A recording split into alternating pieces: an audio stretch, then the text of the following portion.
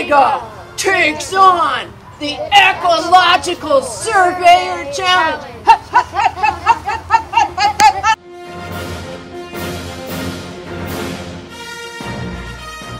Well, men, we've come here to take care of a sticky situation at the Bright Water Treatment. It says right here that this is our target area right here. Well, the rest of the areas we're covering, this area has not. Sergeant is back from the field. What is the problem, Sergeant? I found four threats.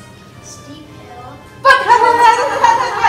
plastic netting, invasive plants, lastly, too much water. Too much water? I thought water was good for plants. Not at these levels.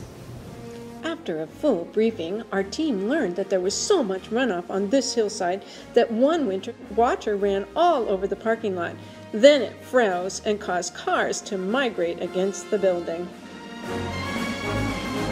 According to our model, a planted area has less dirty water compared to compared to this barren area, which is practically the water's made out of land. Well, then we can put more native plants that can handle water on this barren. That's a good plan. After further discussion, we decided to plant our test area in a pyramid form with ground cover in the bottom, followed by shrubs and then trees on the top, as shown by this demonstration.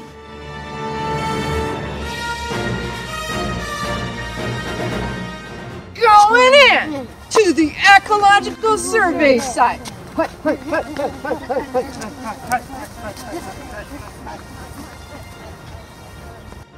the site, the first thing we did was lay out our quadrant to get the data on the balance of vegetation on each level of the hillside.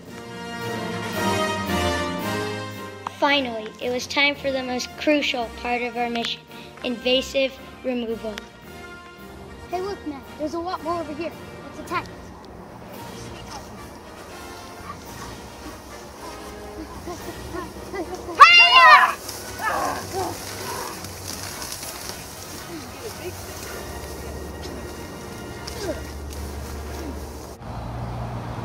on, men.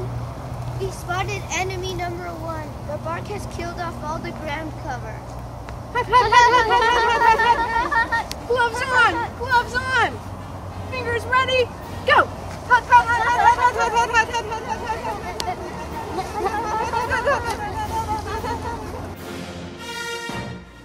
Once the evil invasives were removed, we were able to plant our water tolerant native species. These plants, these native plants should do the job because these plants can hold a lot of water.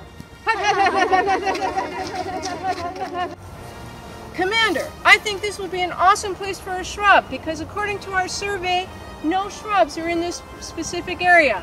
But wait, there's already native plants here. The buttercup has been spreading all around, so I think we should take some out. The height of the hill increased, the soil moisture increased, so our prediction was wrong. At the top of the hill, the moisture was 32.2%, while the base of the hill was 23.2%. That is a difference of 6%. So the water pipes under the ground are probably directing too much water to this area. Was our mission a success?